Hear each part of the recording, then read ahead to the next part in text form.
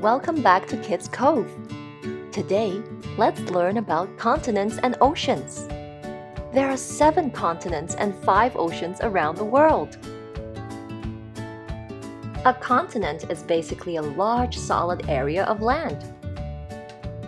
The seven continents ranked by size are Asia, Africa, North America, South America, Antarctica, Europe, and Australia. Let's explore them one by one. Asia. It has the biggest land area and the world's biggest population. It is also home to pandas and Bengal tigers. Africa. It is the continent with the most countries. There are 54 of them. It is also home to African elephants and African lions. North America is the home of the largest island in the world, Greenland.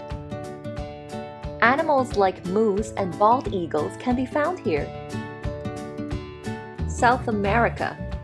It has the longest mountain range and the highest waterfalls. You will find blue morpho butterflies and llamas on this continent. Antarctica. It is covered almost completely by ice.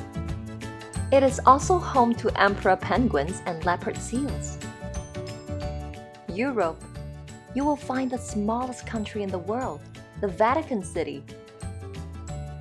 It is also home to brown bears and bisons. Australia is the only continent covered by a single country.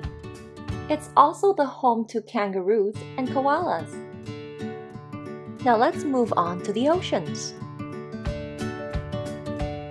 The ocean is a huge body of salt water that covers most of the Earth's surface. All of the oceans and seas on Earth are actually interconnected, so it's actually one big global ocean. Still, because of geographical and historical reasons, different names have been given to the five oceans. And here are the five oceans ranked by size the Pacific Ocean, the Atlantic Ocean, the Indian Ocean, the Southern Ocean, and the Arctic Ocean. Let's learn more about each one of them. The Pacific Ocean is the biggest and deepest ocean. 60% of the world's fish come from here. It is also the home to many different coral species. The Atlantic Ocean is about half the size of the Pacific Ocean. It's also the saltiest ocean. Mm. The Indian Ocean covers about 20% of the Earth's surface.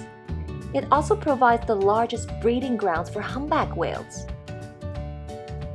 The Southern Ocean is located around the South Pole. It's also the home to blue whales. Last but not least, the Arctic Ocean is located around the North Pole. It's the coldest ocean and there are many polar bears living on the Arctic ice. Well, I hope you had fun learning with us. If you want to learn more, subscribe to our channel. We'll see you in the next video. Bye-bye now!